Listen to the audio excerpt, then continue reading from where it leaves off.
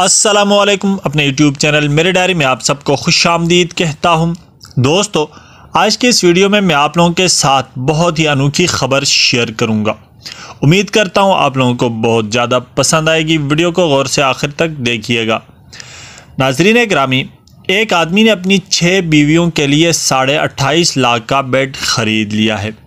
अब जानते हैं कि उसकी छः बीवियाँ कैसी हैं उसकी नौ बीवियाँ थी, जिनमें से चार ने उससे तलाक ले ली और अब हालिया दिनों में उसने छठी एक और दूसरी औरत के साथ शादी कर ली। ब्राज़ील में नौ शादियाँ करने वाले एक शहरी ने अस्सी हज़ार पाउंड, तकरीबन अट्ठाईस लाख बावन हज़ार रुपये की खतीर रकम बेड पर खर्च कर डाली।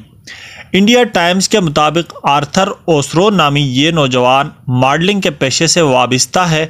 उस वक्त मीडिया की शह सुर्खियों में नज़र आया जब उसने नौ लड़कियों के साथ बैक वक्त शादी की। ताहम गुजशत साल उसकी चार बीवियों ने उससे तलाक भी ले ली है। दो माह कबल आर्थर ने इक्यावन साल ओलेंडा मारिया नामी एक खातून के साथ शादी की, जिसके बाद उसकी बीवियों की तादाद छः हो गई और ये छः बीवियाँ अब उसके साथ एक ही घर में रहती हैं। आर्थर ने अपने इंस्टाग्राम अकाउंट पर इस नए बेड की तस्वीर शेयर की है, जो 20 फीट लंबा है। अपनी पोस्ट में आर्थर ने बताया कि उसने ये बेड खसूसी तौर पर बनवाया है, जिस पर वो उसकी तमाम बीवियों को इकट्ठे सुला सकते हैं। दोस्तों, अगर आप लोगों ने अभी तक मेरा यूट्यूब चैनल मेरे डायरी को सब्सक्राइब नहीं किया है तो प्लीज़ सब्सक्राइब करें और साथ में लगे बेल आइकन को भी प्रेस करें, ताकि मेरी हर आने वाली इन्फॉर्मेटिव वीडियो आप लोगों को बर वक्त पहुँचती रहे। नाजरीन ग्रामी रिपोर्ट के मुताबिक आर्थर ने सबसे पहले अपनी बीवी लवाना काजकी के साथ शादी की थी।